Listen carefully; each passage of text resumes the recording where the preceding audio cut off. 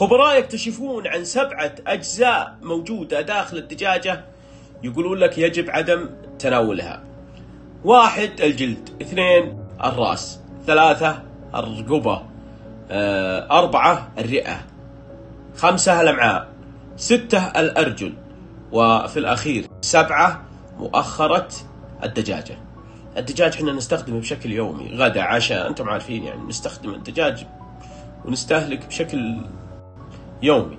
لكن صراحة يعني الجلد ممكن الرأس إحنا ما نأكل الرأس مع الدجاج ما ما فيه يمكن برا ممكن يأكلون الرأس لكن عندنا هنا ما نأكل.